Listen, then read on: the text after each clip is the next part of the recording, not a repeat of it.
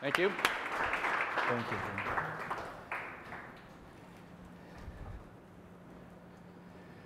Okay, so um, you know we're in a conference talking about uh, really about uh, prevention and behavior and wellness, and we're an electronic company. So what I'm going to try to tell you is, is why electronics matter, and you know how we fit into this equation, and you know how we can can help advance uh, this this concept of uh, of wellness, because we're pretty far down in the ecosystem compared to a lot of the people in the room. Um, but we feel we're important enough that we did decide um, to help sponsor the conference because we think we can, we can help uh, play a role here. Um, you know, and, and maybe, maybe as a start, you know, if I look back on wellness and we talk about how it's done, been done the last 50 years, it kind of goes like this. This is how it's been done, and that's the outcome that we've gotten. And what I'm afraid of when I, when I listen to all the, the, stuff and when I, when I think about what everybody's trying to do with the best intentions, what I'm worried about is that this is what we're trying to do. Is that simply by substituting one device for another, that somehow that's magically going to change people's behavior. And I think as I look at it, the, this challenge of behavior change is the big problem. And I, I worry about this a lot because it affects my business and it probably affects your business. And I think it's one of the most difficult um, things that we have to face. So we want to do prevention, but we have this problem. We have the human being is in the loop. These unpredictable, difficult to understand people that we have to somehow um, get to change. And we, have heard um, you know, about the kind of timeframes that are needed when we think about preventative health. We're talking about planning our lifestyle so that in the end, we live longer and we're healthier. But we've already heard that humans are not very good at planning for the future.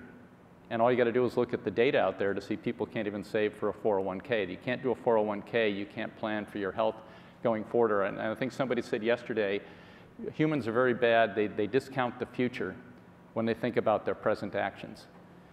And so a lot, I believe, of, of getting behavior change is how do we make good habits and how do we break bad habits? And I can look at myself as someone, you know, I'm in this business like a lot of you, and look at the stuff that I don't do. I don't meditate.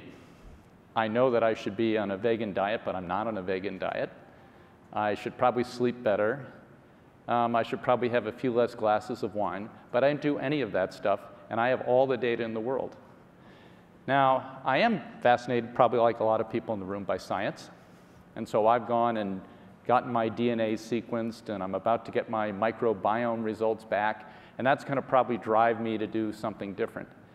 But that's me, and it's probably similar to the profile of a lot of people in the room, where we have a lot of engineering, scientists, technology type people.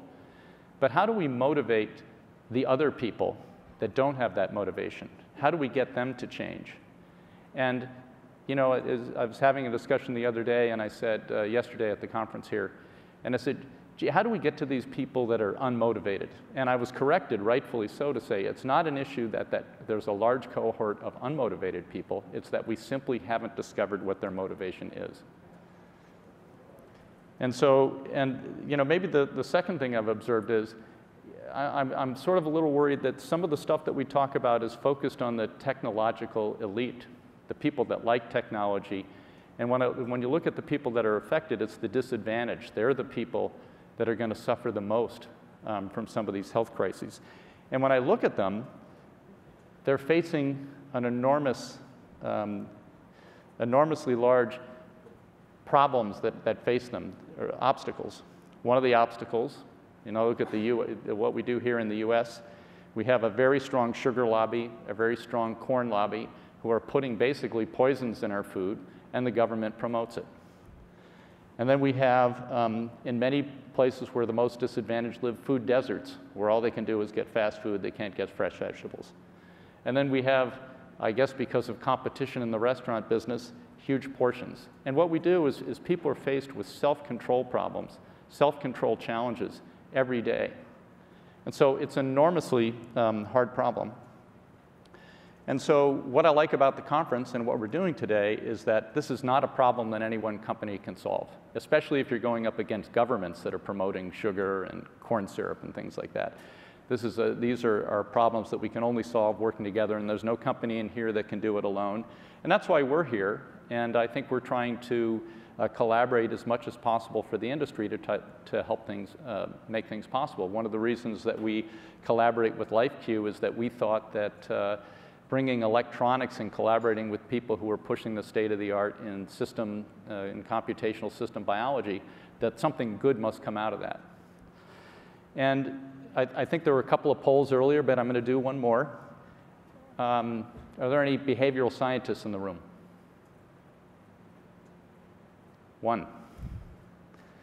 And practicing physicians? One, and I think we asked before about insurance companies, payers or providers.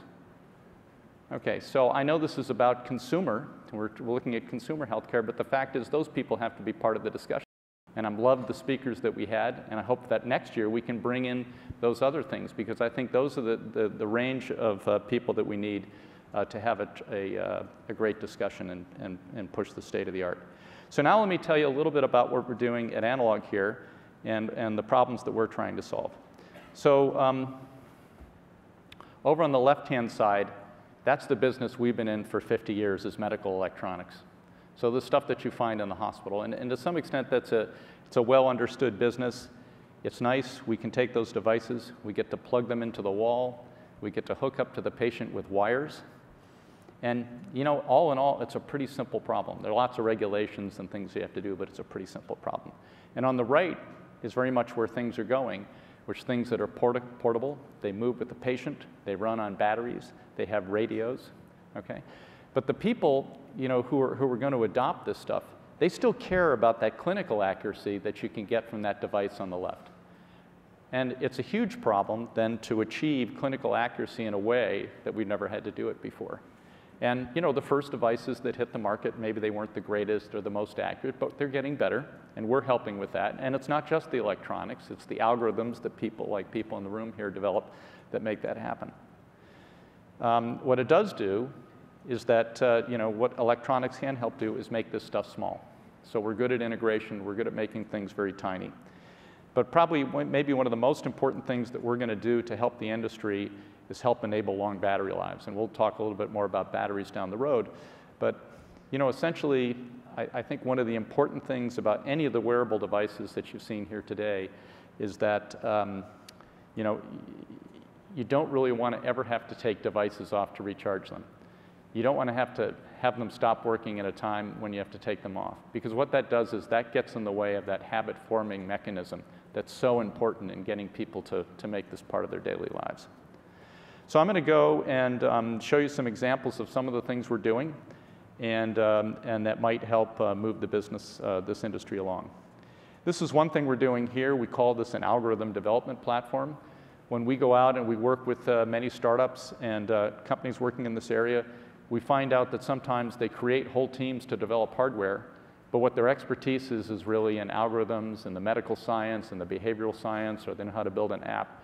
And oftentimes, this is a friction um, in, in moving the, the uh, business forward. So this is a development platform that uh, does uh, ECG and PPG and, and uh, electrodermal skin response and temperature, all packaged up with a cloud interface where something that you can take as a development tool and you can use it to collect data, build algorithms, test stuff, do, do trials. It's not meant to be a commercial device, it's meant to be a development device. But it's a way uh, where we try to put all the expertise from that 50 years of measuring the human body uh, into a device um, you know, that, uh, that, that represents what we think is the state of the art.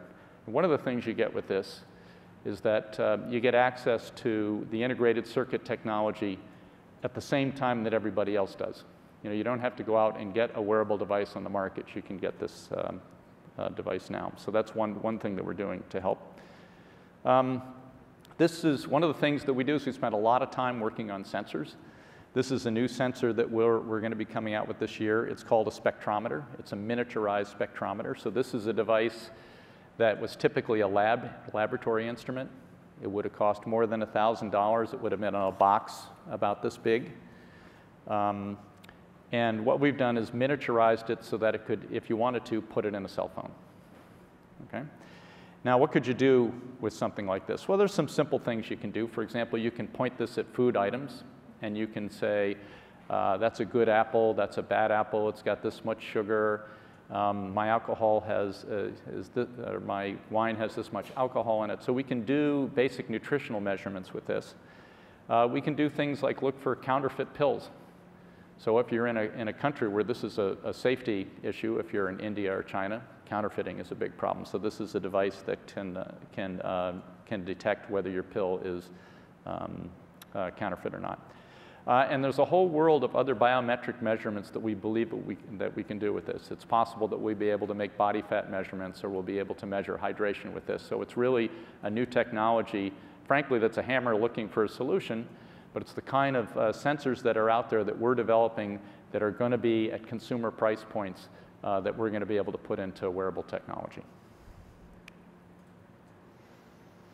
I wanted to talk a little bit about miniaturization just to show where we see the state of the art right now. So when I look at, uh, at wearable devices, I think that they should be invisible. Okay, now we're not to the point, and I don't think we'll be for a few years, to where consumer devices could be injectable or implantable. I don't think we're there yet.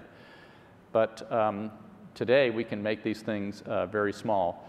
So um, this is a, a, thing where we took flex technology, high density flex technology, and we folded it up like an a piece of origami into a box.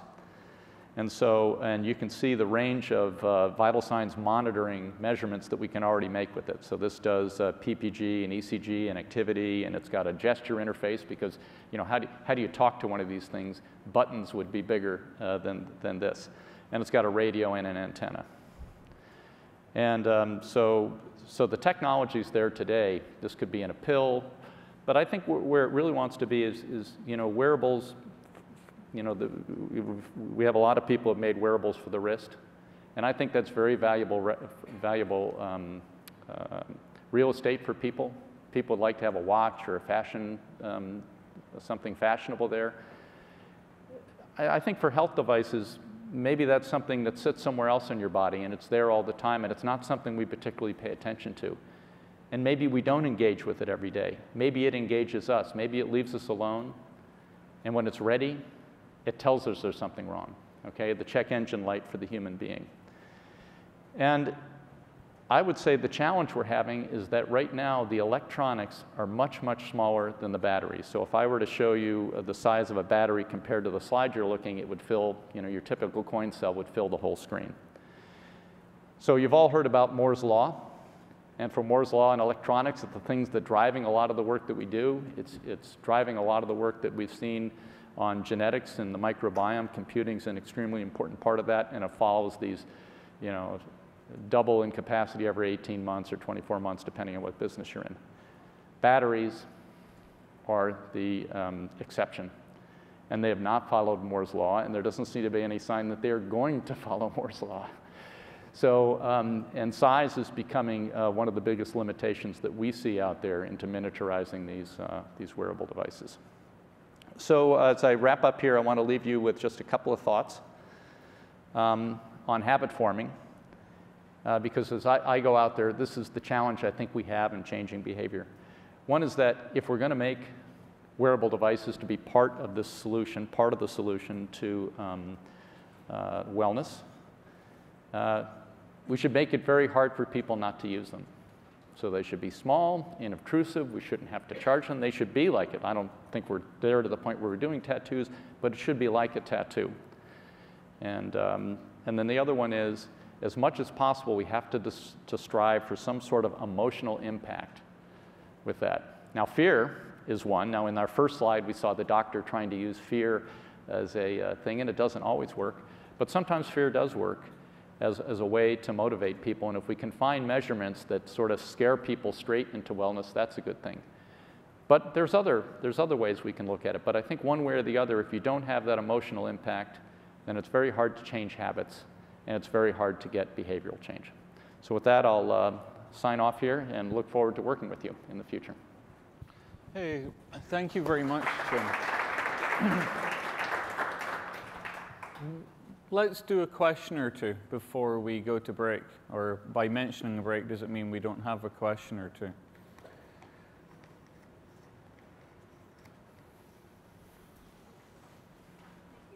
Being the, being the only behavioral scientist in the room, I guess I have to have a question. Um, what you're talking about is very much along the lines of what I found in my research for my dissertation. So um, what, I'm, what I'm wondering is how far away are we from flexible batteries? Uh, I, I think there, there's flexible battery technology out there now that's just starting. Hmm?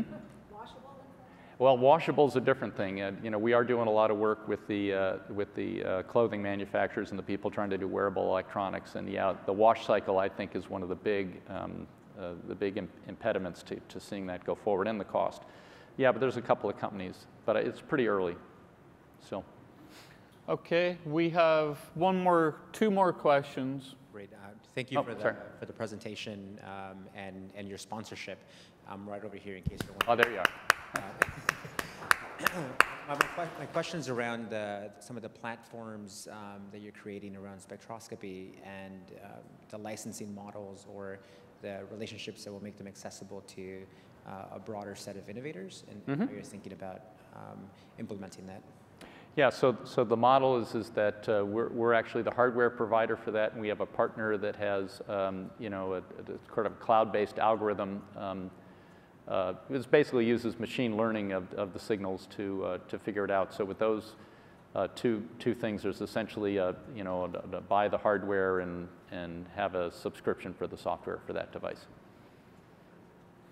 Hey, Jim, And- we have one more question, the last one from Victor. And how small is the spectrometer? uh, And are you planning to have a, like, a consumer device with that? Or is it to integrate into somebody else's consumer device? Uh, yeah, it's, um, there, there is a handheld device out there today that's done by a company called Consumer Physics, and we, we- they're our partner in this, uh, in this business. The, the basic size of that one that I showed you, the, the actual guts of it are about 10 by 10 millimeter, and I think it's uh, maybe 5 millimeters high. And then we'll, we'll expect to miniaturize that over the next coming years, but the first uh, commercial device that we'll have out there for that. But it is meant to be embedded in other products. I, I think it's, it's meant to be, you know, depending on volumes and stuff, sort of less than $25 kind of a device. So we're not at the point where these are $1 uh, IC chips, but they're, they're not $1,000. Thank you very much, Jim. Thank you.